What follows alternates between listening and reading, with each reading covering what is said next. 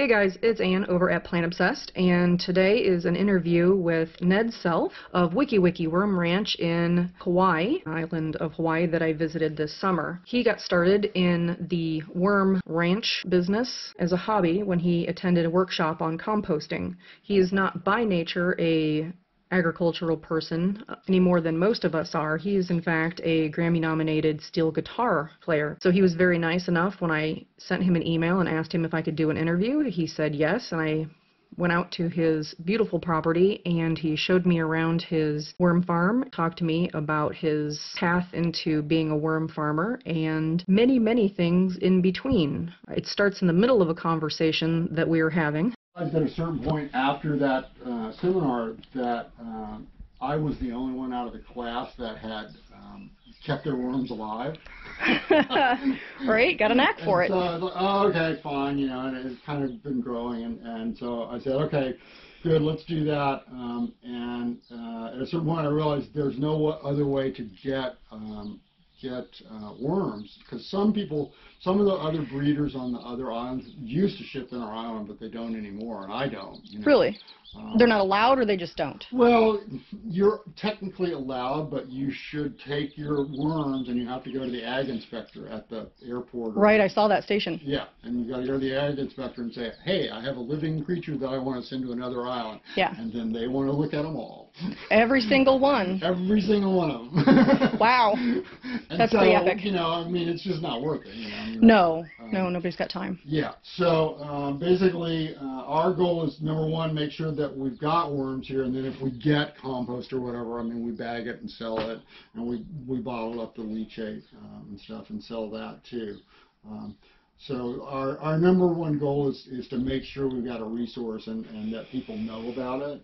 Um, and you know, then then we kind of do you know education and the kids and, and You go to schools and Yeah, so actually, you know, the, the school kids apparently like live in the morning, and I'm a musician, so I live at night. Right.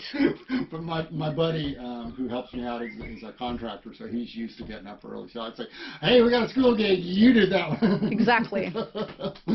um, so uh, yeah, so we do educational things or whatever, and, and just kind of work with the county and and.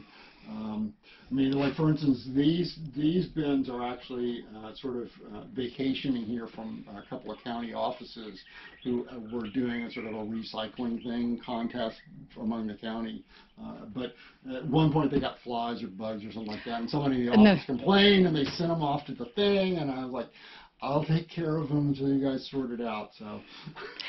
yeah, that does happen. That's one of the things that people frequently ask when they get into and they're like, what happened if you get bugs? And I'm like, well, to a certain degree, certain bugs are good bugs, and then there's bugs that are just annoying, and then there's bad bugs. Right. Um, So we don't we don't really. Um, I mean, the thing that I've kind of noticed recently are these little white millipedes. are they millipedes or are they potworms? Uh, they could be potworms. I, you know, my eyesight's not good enough, and I can't find a good enough description of what a potworm looks like or is. You know, the way they move. I, I hate to plug my own channel, but I have a microscope and I took pictures of them because I too was like, what are those things? I'm plus, you know, over 40, and then I'm like, I, I don't know I what it is. it. Yeah. I'm like, it's a little white worm. It could be a maggot. Who knows? Yeah, yeah. So, so the way they move, I think they have little legs on them. Um, and uh, you know, I yes, I would call them a millipede, but probably potworm, you know, covers it too. Um, they were getting kind of out of hand. We started adding uh, ag lime to our food mix, um. Right. And that seems to be knocking them down. So it's, I think it's a pH level. Yeah, In it's, no, it's, it's, you know, it's fine. I mean, if, if you feel like, like- a science project. Always, always feel like a All right. science project. We'll, we'll, we'll you up then. Um, so, um, you know, but I mean, it's like of the of the weird sort of assortment of critters and creatures and mold, and fungus and stuff that lives in one of these bins. I mean, it's like, oh god, what's of that stuff? Um, there, there's like a really um, sort of foamy yellow or pink um, mold Huh. Um, That's not something that we get into over where we live. well, it's it's really uh, I guess it's pretty common, sort of worldwide, because I started figuring trying to figure out what would happen. Because what would happen, it would it would boil up over the top, and I would come in in the morning. Oh, wow. Like this big, foamy, you know, yellow or pink. Um, Stuff build up on the lid, and I'm like, "What the hell is that?" Right? Um, and so it's like it's a it's a fungus, uh, so it's more like a mushroom than anything else. Apparently, it's it has enough intelligence; it will grow and move itself towards a food source. Wow. You're kind of like, holy shit! Right, exactly. Not sure I want, because I always, I, I wonder about the worms, how smart they are. I mean, some of them do some dumb things, like, you know, run away and dry up and become wor- so, I worm mean, jerky. It's like, for instance, the, the, the rap on the blue worms is that they'll just up and go. Yeah. know, for no particular reason that you can determine, you know. So that's never really happened to me. Um, I, I did, at one point early on, um, my wife was like throwing away a um, uh, bag of uh, tortillas. hmm I thought, flour, water, boom. know, Right. Done, into the thing. Well, so I thought, oh, it'll just be nice, and and I kind of dealt them out in a nice flat little layer or whatever. Yeah. And I came out later, and the worms were just boiling out of the thing, and I'm like, worm emergency, worm emergency. Um, and I realized what I had done was um, that I basically I just made a perfect burrito and sealed them in there, right? And, Oh. and they ran out of oxygen. Oh, So, you know, so I'm like, oh, okay. I thought maybe it was like a feeding frenzy. Well, no, no. It was it, they. I sealed them in, and they ran out of oxygen, so they Oh. all they were all trying to get out. Um, but once I- once I realized what was going on, I just pulled up the tortillas and crumpled them up and put them back in there, and everybody was fine. And they all went back. Um, so I've never really had, you know, one of those mass exodus things, which makes me, you know, tend to believe, yeah, these are more red worms than blue. Um, but uh, you know, it, the the fungus stuff or whatever. I mean, it kind of came over the course of the year, just sort of appeared in some of them, and it sort of spread, and then it just kind of disappeared again. You know. I wonder if certain food stocks are prone to it or, or, yeah, or so something. you know, I'm I'm always thinking, you know, okay, something came in on the the the, the food. Um, you know, it's like we we occasionally get black soldier flies in here. oh, yeah? Um, Do they bother the, the compost worms? no, no, they all get along Because just fine. mean, 'cause I know some people actually compost exclusively with those. So my the kid who helps me feed or whatever, he's very interested in black soldier fly, and he's been trying to create a project, um, you know, sort of raise and breed and figure out what's going on with them. My Right. understanding is is that the black soldier flies are just voracious. yeah, crazy. Um, you know, and, and you- don't have to worry about the, the meat and the cheese and the all No. that sort of stuff. You just throw it in there. and Everything. you know, boom, you're oh, boom, done. Right. Yeah. Um, so um, I'm kind of interested in that, but but you know I'm kind of like, all right, that's your project. Here's some worm or some black soldier fly larvae that came out of our stuff uh, or whatever. So he he kind of works on that, and we really haven't done anything beyond that. Um, So do you sell your castings and worms? yeah, so we sell castings and we sell worms and we sell uh, leachate. Um, and um, you know, right now it's it's pretty much you know people people who know about it are, are Right. They're they're always beating on my door. Like, oh, I need some more of that stuff because my flowers, blah blah blah. um, you know, uh, and if I was a better salesperson, I would go out and and uh, you know rustle up um, you know some accounts. Um, but but for me, it's it's really kind of a time factor. You know, I just like. Um, fortunately, I've got a couple of kids who work for me now, and we've, we've got enough production going that I, I feel good about going out to the garden shop and saying, "Hey, I can give you X pounds, Right. you know, per week," and, and that sort of thing. Um, so I'll probably do a little bit more of that now.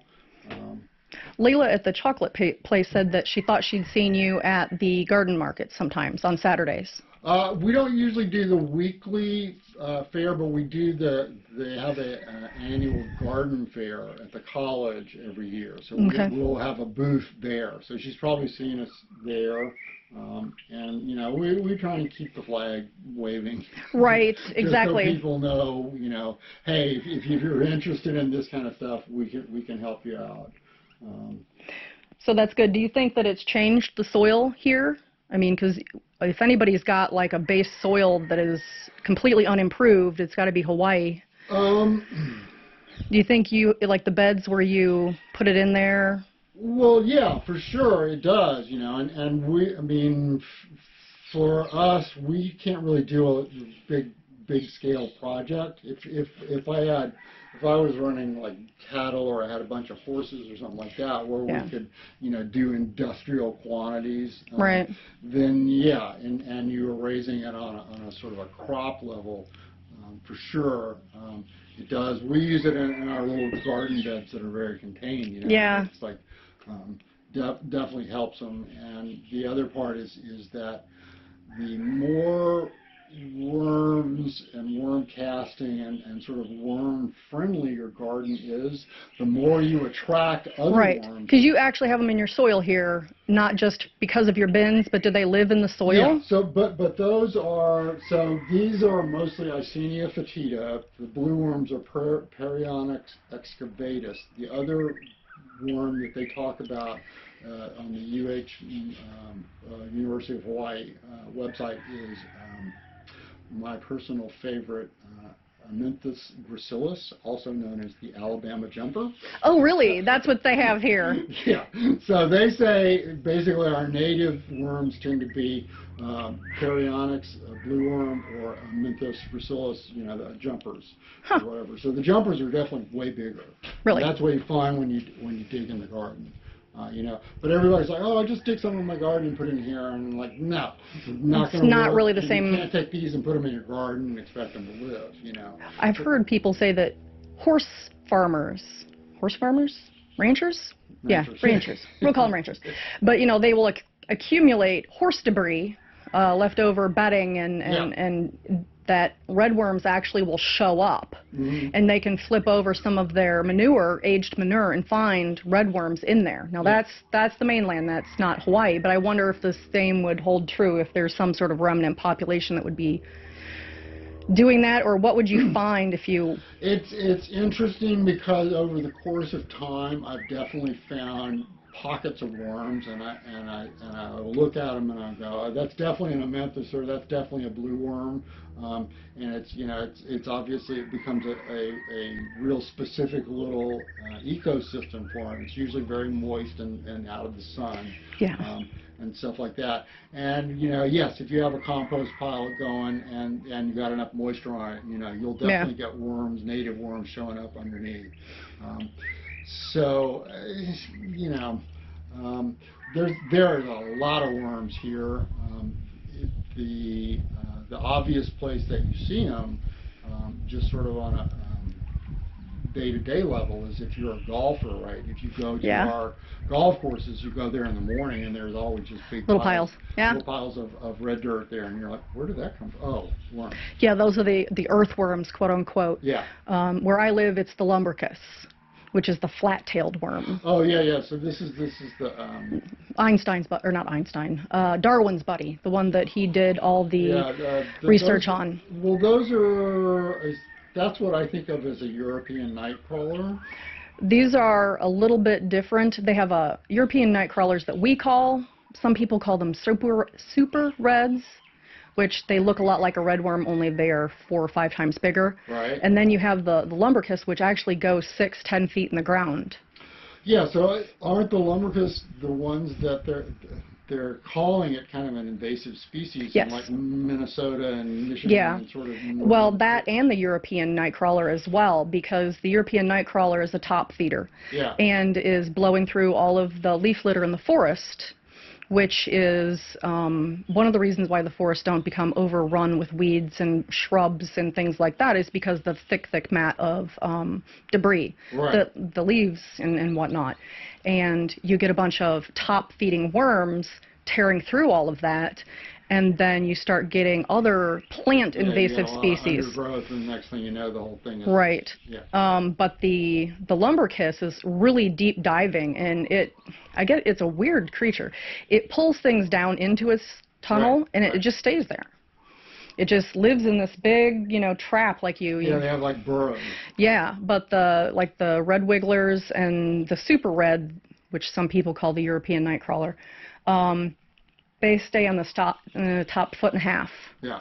Whereas the other ones with the flat tails on them, they're one per burrow. They don't hang out together in clusters like you normally see in a compost pile. You won't find them and supposedly won't find them in compost piles. You see them living singularly in your lawn or golf course or things like that. And they're the ones that eject their castings out Yeah. of their of their permanent burrows because it's a permanent house. Right. Um, I guess the compost worm type worm don't do that. Yeah, uh, yeah. So yeah, I think that's that's you know certainly who- holds true around here. Um, you know, and, and so uh, we probably don't have as many varieties in, in sort of the natural setting, but um, yeah, we def we definitely have that going on.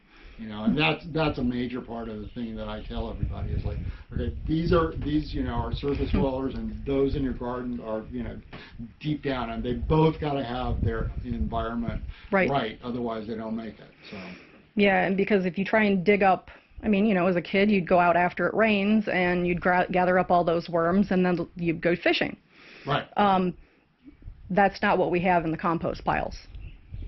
Yeah, or in the compost weird, bins. You know, over the years, I've had people come and say, "Oh, I want to, I want to raise worms for fishing bait." And I'm like, "Man, if you can throw one of those things on a hook, more power to you." But um, you know, they do it. You know, so Well, the red worms will get a little bigger, but the blue worms, you know, I think that's why some people get so irritated when they get a compost mix, which is what I think Uncle Jim sells now is a compost mix.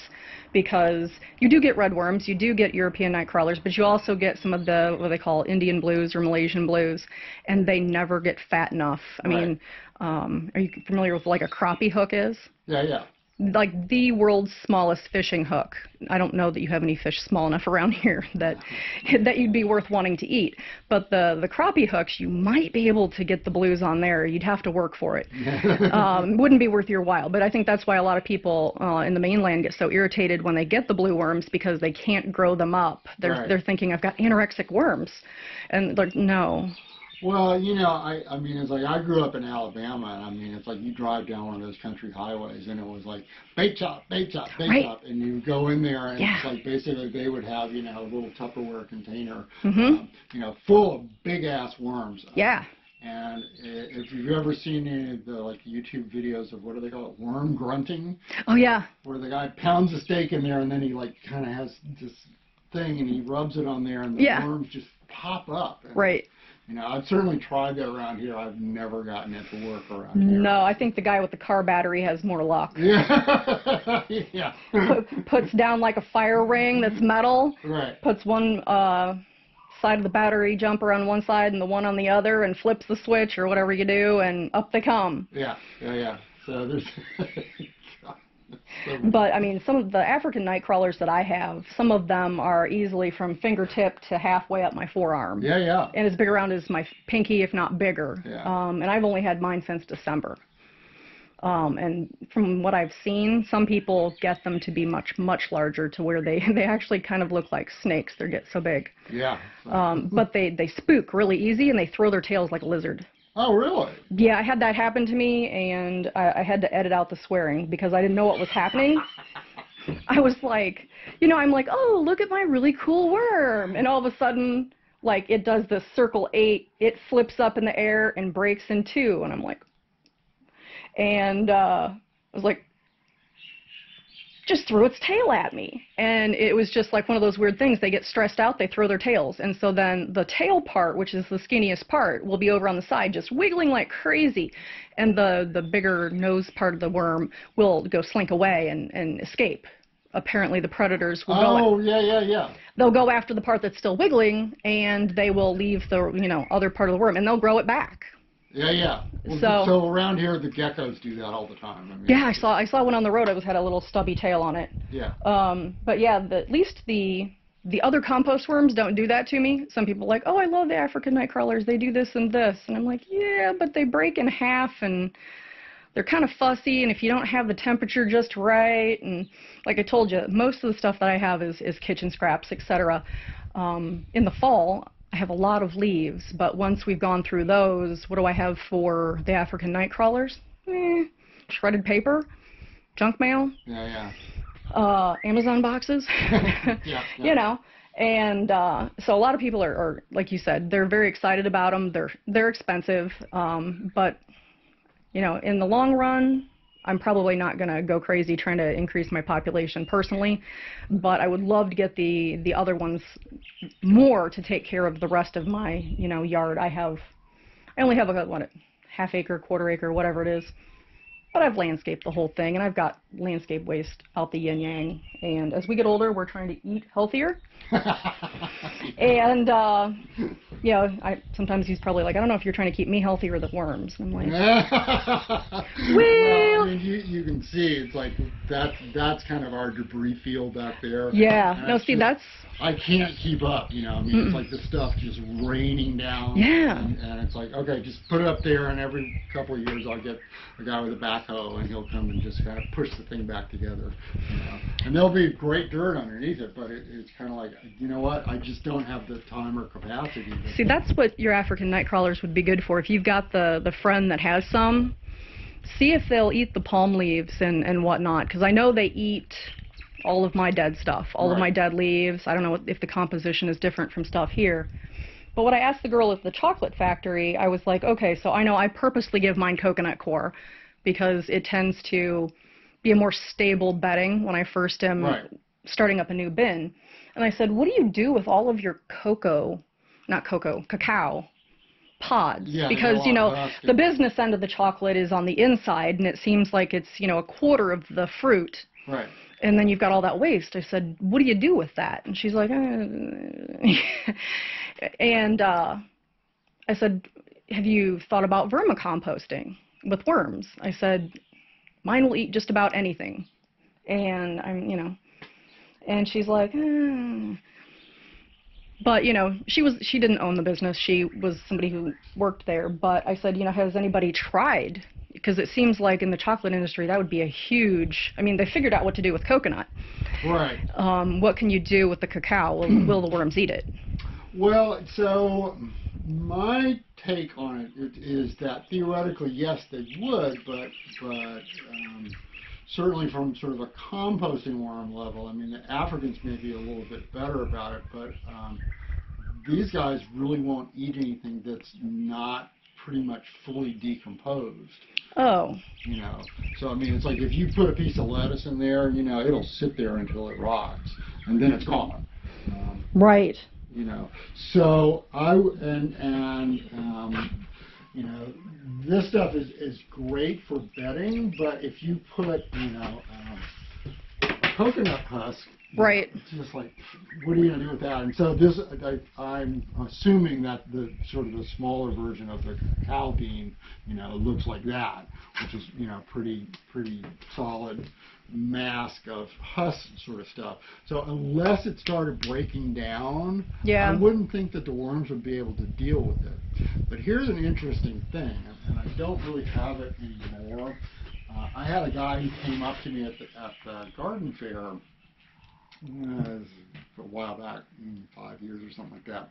And so he's talking to me at the fair, and, and he's saying, "Oh, have you ever tried using millipedes?" And like, Oh. what are you talking about? Right. Um, and so he said, yeah, yeah, yeah, millipedes, are, they are uh, great um, decomposers. Uh, Mhm. And if you go and, and dig in there, I'll bet. we it, and, and you'll find them in there, and they're basically maybe usually tend to be about that long, and they're sort of reddish brown Yeah. around here.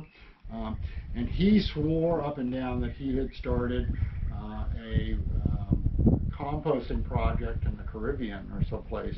Um, and basically, they would take the coconut husk and throw them in a big pile and let the millipedes go at them, and the millipedes would just take them apart. Really? Yeah. Hmm. Uh, and so he was leaving the island, and he brought his millipedes over to me. Oh Said, my. Here, you know, you have worms. You must know what to do with these, right? And, Oh. Um, so you know, and I had them, and I really didn't know anything about them, and there wasn't much info online, and I raised them for a while, but. I just don't think I, I quite got it, you Right. know. And so they, they definitely lasted for a couple of years, but eventually they were just like, yeah, we're, they're really not doing anything. And they definitely would would compost, decompose stuff really really quickly and really well. Um, but I just couldn't get them to breed in this atmosphere. Either I didn't know what I was doing, or the setting wasn't right, or whatever. Um, but um, they they are definitely a part of the ecosystem, and they definitely sort of break that stuff down. So I would think if you knew what you were doing, that millipedes might be an answer to, to something like that. Um, in my outside pile like yours, I have, you know, a variety of creatures, the earwigs, the pill bugs, Yeah, the, you know, millipedes, whatever else is out there. Um, but on my inside ones, I do see the potworms. If uh, if I feed things that are a little bit too acidic or it gets a little too wet and Right. sloppy, um, I'll see the the potworms. But they're not a problem. It's not like they're going to hurt the worms yeah, they're helping. Um, and so I'm like, mm, whatever. Yeah, I know my, my son is watching my cats house sitting and um, he's like, I don't have to do anything with the worms, do I? I'm like, no, they've all been fed before I left. They're not cats, they're not dogs. Um, they'll be fine for a week without me. Um, and you know, you can try. He's like, oh, I gotta run amok. What am I gonna do? um, now, the strange thing with the African night crawlers, if you actually leave a lid on them, they'll try and escape. But if you leave the lid off, I just leave shredded paper on the top right. or or shredded whatever, and they're fine. They don't try and get out. But if you try and put a lid on them, I, I don't know. They're just like, I'm gonna do what I want to do. You can't put a lid on me. Um, you know, that's interesting. I think um, it could be. I mean, it's um, the red worms don't do it very much, but I mean, it's like so. You know, I mean, I've been through pretty much every sort of variety of things, but one thing I noticed that um, one of my sort of science experiments um, is um, this is basically uh, just a 50 gallon um, or 60 gallon uh, Oh, garbage? garbage can or whatever. I mean, I got it from Home Depot and got recycling and all that. But basically, I just um, drilled holes through there, and so you can see these rods just run through front to back, and basically it's like a barbecue grill. right? Okay. Okay. So so basically, the compost is sitting on the top there. You know, I haven't, haven't been keeping up on it, but basically, it just it's what's called a flow through, right? Right. So it just drops out of the bottom grate or whatever, and so then you just feed it from the top. Um, and a lot of times I will find the worms clustered up here. Uh, it's been so dry lately that um, that normally this is all kind of sweaty and, and Yeah. wet. Um, and they'll just kind of come up here and congregate and hang out. And Yeah, where there's nice wet. yeah, so I think if, if you put a lid on the night crawlers where it's kind of feeling sort of moist on the sides, then they might go, oh, well, let's go see what Yeah. greener pastures are out there. You know, so that very well may be what's going on if you try and put a lid on them. But but um, generally speaking, the, the these guys are the same way. It's like everything being the same, they'll be real happy to stay where they are, and they won't go anywhere. You know, whether whether the lid's on or not. Um, Do you have anything try to get in? I mean, I know Hawaii doesn't have a lot of, oh yeah, of critters. Yeah, so well, you don't have raccoons. What do you have that gets into things? uh, so the chickens are. really- Oh, the chickens. That's why I have this little thing on here because because the chickens will just go in there and just tear the hell That's out the of it. that's the chicken proofer. Um, Sorry for the abrupt ending there, but that is the end of the footage that I have that is usable. I wanted to say thank you to Ned for allowing me to come out and do the interview and see his worm farm and gain all the knowledge that he had to give me. If if he is watching, perhaps, uh, then thank you very much. And I learned a lot. I thought I had a great time there, and wish you the best. Thanks for hanging out with me and my worms, and Ned and his worms. Everybody, have a good night.